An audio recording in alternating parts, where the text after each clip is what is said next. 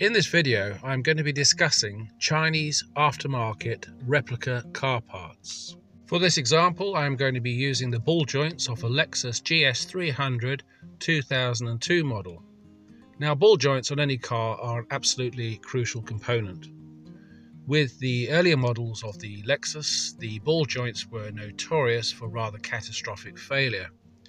Ball joints themselves are basically like a ball and socket, and the reason why they fail is because water can get in under the rubber boot over time and it causes the ball to corrode and become loose. Effectively, the ball socket needs to be greased and watertight at all times.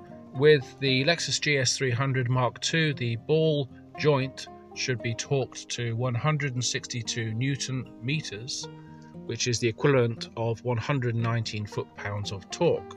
Now this is pretty tight and it has to be because it is of such importance to the structural integrity of the car's steering. This ball joint I am showing you now is a Chinese replica that was bought online on a well-known auction site. The ball joint itself looks quite reasonable. However, the castle nut that came with the ball joint looks highly inferior and not fit for purpose. The quality of the metal is simply cringeworthy. When the Chinese replica ball joint was fitted to the near side of the car, which is the left in the UK, the torque setting was set for 162 newton meters as per the Lexus torque specifications in the workshop manual. On tightening the ball joint castle nut, it became very apparent that the actual nut was not in fact tightening at all.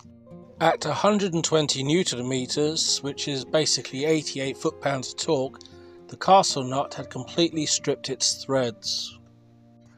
That's a staggering 40 newton meters less than what Toyota specifies for this car part.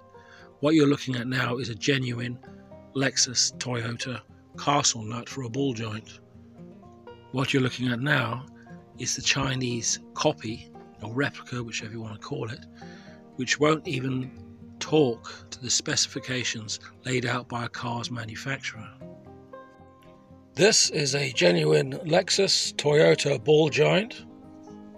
This is a Chinese copy. Chinese car parts, particularly ball joints, are dangerous. Don't take the risk. This is what can happen. Always buy the OEM manufacturer's parts. They spent millions of pounds or dollars developing these cars.